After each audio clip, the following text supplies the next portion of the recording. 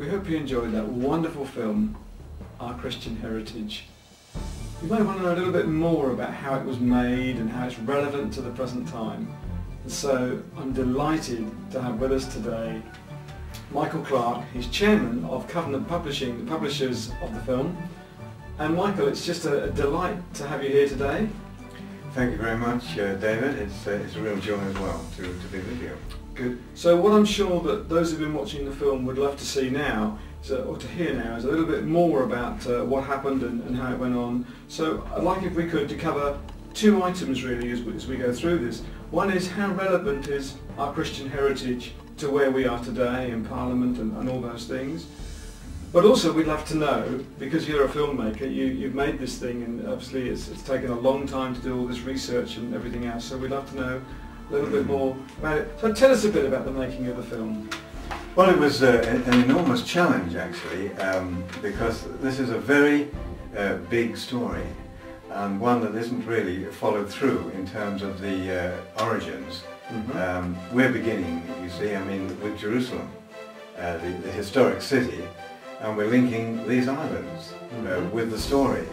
And um, so it's we're moving uh, from a, a, a what you might say is a fragmented history into one uh, of continuity in history and um, evidences which uh, have perhaps been forgotten in the mist of time and um, you know which I've been involved with for for many years and so. It's almost like a, a fulfillment um, to, to reach this point. and um, it, it's a continuity in history uh, truth in history if you like how do you see the relevance now with scripture and with the film to the way the world is today in this in this nation? In many ways, London, which uh, you know is a financial centre of the world, absolutely, um, it has given uh, our common law government to the world, and um, in this sense, we you know we have a responsibility to uphold that standard, and of course, it's all um, embraced with our constitution, uh, the Queen in Parliament under God. That is the, that is the concept mm -hmm. of our government. You know, we have church and state together represent, uh, represented by the Queen, who is uh, Supreme Governor of the Church of England, as well as head of state.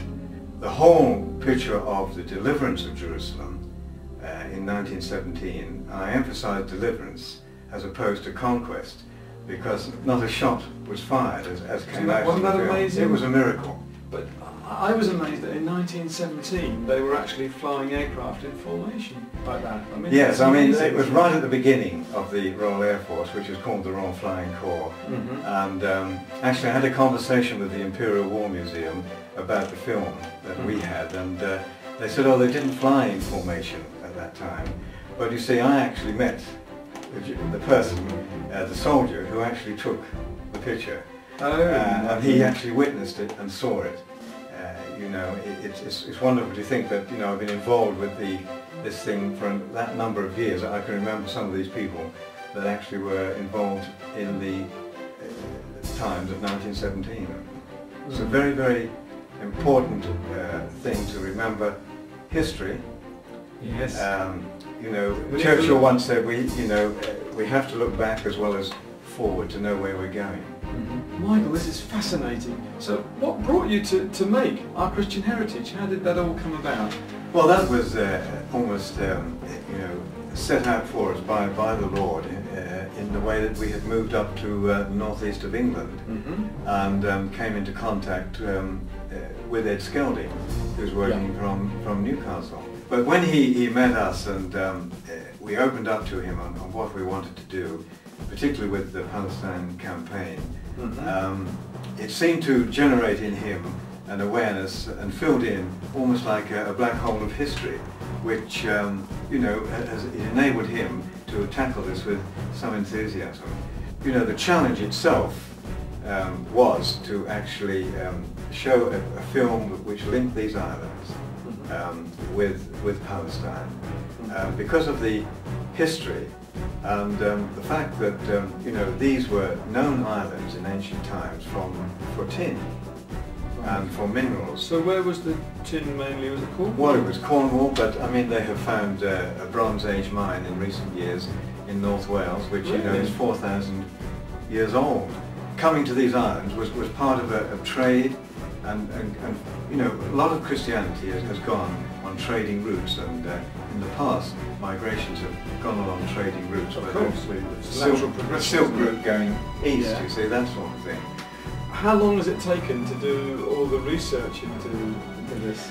Well, I mean, it's, it's an accumulation of uh, several decades in, in my case. Really? But um, then it goes back, um, you know, uh, a century and more, it's half a, cent- a century and a half really, in terms of relatively modern history Mhm. of, of this research.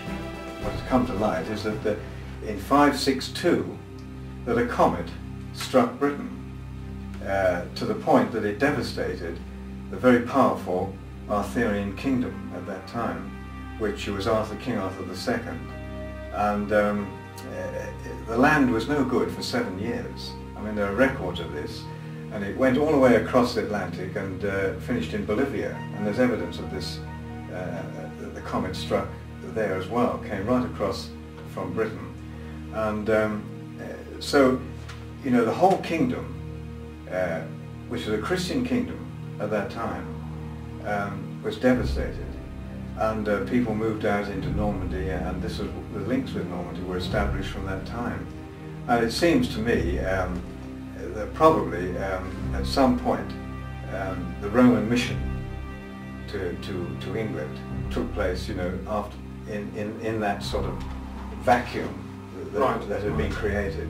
Mhm. And um, it's a very important sort of historical Yeah. event in that sense. So, in terms of uh, things that you were able to bring in, into the film, what would you say was the, the thing that you would have, or one of the things that you would have liked to have had in the film that perhaps you weren't able to include? Were there any? yes, but it's, it's, a very, it's only an introduction, Right. basically. So will there be more?